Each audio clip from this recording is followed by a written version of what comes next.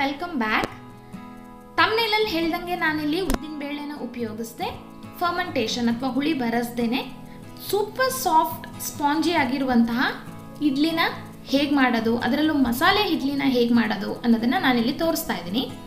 ಮೊದಲಿಗೆ ನಾನು ಒಂದು ಕಪ್ಪಷ್ಟು ಹುರಿದಿರುವಂತಹ ಸಣ್ಣ ರವೆ, ಅದಕ್ಕೆ ಅರ್ಧ ಕಪ್ಪಷ್ಟು ಕಡಲೆ ಹಿಟ್ಟು ಹಾಗೂ ಒಂದು ಕಪ್ಪಷ್ಟು ಮೊಸರು. ಇಷ್ಟನ್ನು ಹಾಕಿ ಮಿಕ್ಸ್ ಮಾಡ್ಕೊಳ್ಬೇಕು. ಅದಕ್ಕೆ ನಾನು ಒಂದು ಸ್ಯಾಶೆ ಮ್ಯಾಗಿ ಮಸಾಲ ಪೌಡರ್ನ ಸೇರಿಸ್ತಾ ಇದ್ದೀನಿ. ಇಲ್ಲಿ ನೀವು ಬೇರೆ ಯಾವುದೇ ಮಸಾಲೆ ಪೌಡರ್ ಬೇಕಿದ್ರೂ ಹಾಕ್ಕೊಳ್ಬೋದು. ನಿಮ್ಮ ಟೇಸ್ಟ್ಗೆ ಅನುಕೂಲವಾಗಿ. ಮ್ಯಾಗಿ ಮಸಾಲದಲ್ಲಿ ಆಲ್ರೆಡಿ ಉಪ್ಪಿರೋದ್ರಿಂದ ನಾನಿಲ್ಲಿ ಎಕ್ಸ್ಟ್ರಾ ಉಪ್ಪು ಸೇರಿಸ್ತಾ ಇಲ್ಲ. ನೀರು ಹಾಕಿ ಮಿಕ್ಸ್ ಮಾಡ್ಕೊಳ್ಳಿ. ಈ ಬ್ಯಾಟರ್ನ ನೀವು ಒಂದು ಹತ್ತು ನಿಮಿಷ ಹಾಗೆ ನೆನೆಯೋಕ್ಕೆ ಇಡಬೇಕು.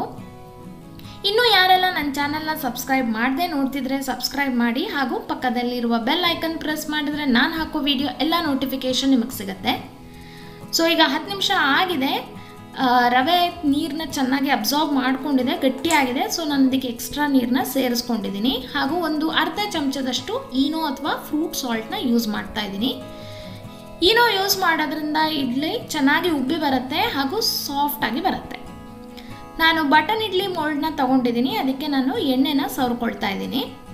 ನೀವು ನಾರ್ಮಲ್ ಇಡ್ಲಿ ಮೇಕರಲ್ಲಿ ಕೂಡ ನೀವು ಈ ಹಿಟ್ಟನ್ನ ಹಾಕಿ ಇಡ್ಲಿ ಮಾಡ್ಕೊಳ್ಬೋದು.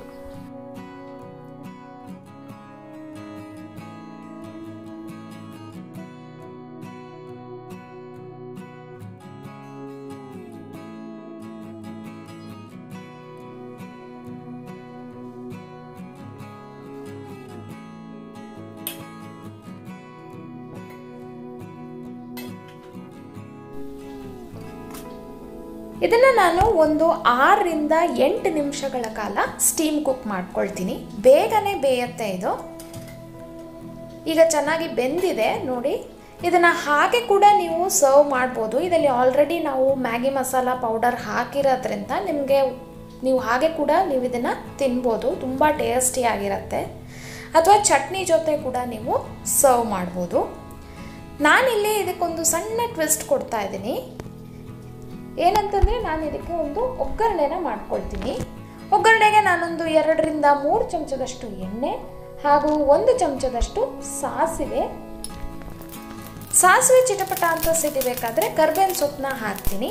ನಂತರ ನಾನು ಇದಕ್ಕೆ ಮ್ಯಾಗಿ ಮಸಾಲ ಪೌಡರ್, ಒಂದು ಎರಡು ಚಮಚದಷ್ಟು ಮ್ಯಾಗಿ ಮಸಾಲ ಪೌಡರ್ನ ಸೇರಿಸ್ತಾ ಇದ್ದೀನಿ. ಆ್ಯಂಡ್ ಈ ಒಗ್ಗರಣೆಗೆ ನಾವೇನು ರೆಡಿ ಮಾಡಿರುವಂತಹ ಮಿನಿ ಇಡ್ಲಿ ಇರುತ್ತೆ, ಅದನ್ನು ಹಾಕಿ ಮಿಕ್ಸ್ ಮಾಡ್ಕೊಳ್ಬೇಕು.